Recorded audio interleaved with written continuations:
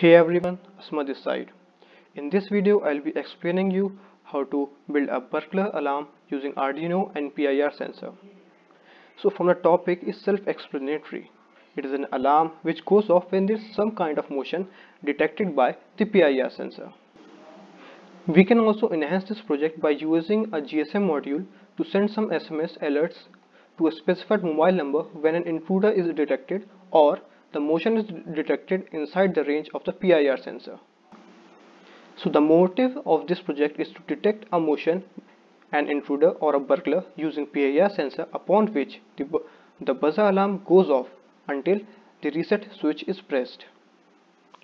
Let us take a look on all of the items that we will be using here. The number one is the Arduino Uno, the PIR sensor, a transistor, 2N2222, some resistance, button connecting wires, buzzer and Arduino IDE. I shall brief the components used in this project. Number 1. The PIR sensor. Basically it is a motion sensor or a motion detector which identifies an object that moves inside its range of view. PIR sensor identifies infrared radiations emitted by an object inside its radar range. So basically it is the heart of the simple burglar alarm circuit. Number 2 is the buzzer. It is used to create a sound alarm whenever a movement is identified inside the range of PIR sensor. A transistor 2N2222 is used to drive the buzzer. The maximum current that can be synced from an Arduino pin is 2 mA, but the buzzer will need more than just 20 mA for its proper functioning. Therefore, we use switching transistor 2N2222 for this purpose. It acts as a switch and at the same time it provides the required current amplification.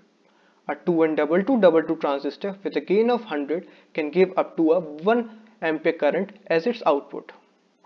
Another purpose for this uh, for using a transistor in between Arduino pin and buzzer is isolation. A short circuit of the buzzer will destroy only the collector emitter junction of transistor. Since there is isolation at the base region of transistor, the destruction of collector emitter junction will not affect base and hence Arduino will be saved from burning. The next one is a switch. It is a push switch which is used to reset the burglar alarm once it is activated. The capacitor is used for bypassing bouncing effect of a switch. So what is this bouncing effect?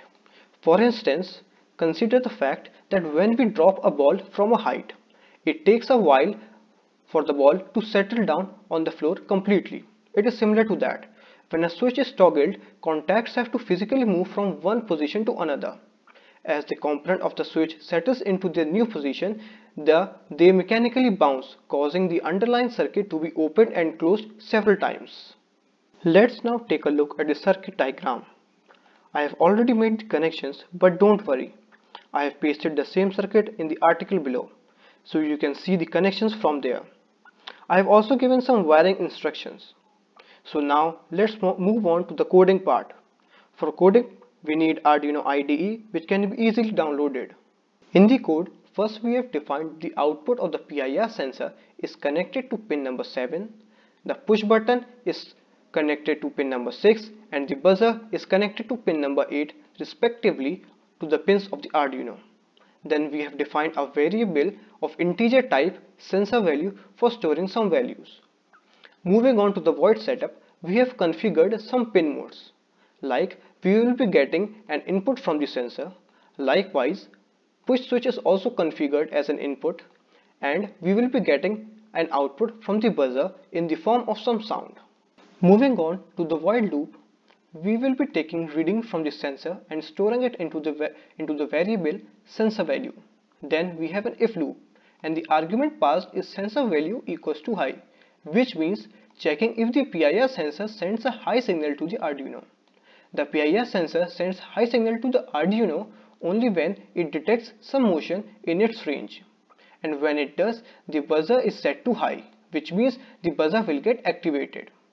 Then again we have a nested if loop and the argument passed is digital read push switch equals to high which means checking if the push switch was pressed. If it was pressed then the buzzer is set to low which means the buzzer will turn off. Let us now take a look on the working of the circuit. So when the motion is detected inside the range of the PIR sensor, the alarm goes off. So you see when I pressed the reset button, the alarm stops. So basically that's all with the coding part. We can also use Arduino Nano instead of Arduino Uno. The connections and the coding will remain the same.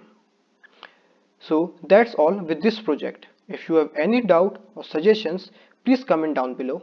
Thank you.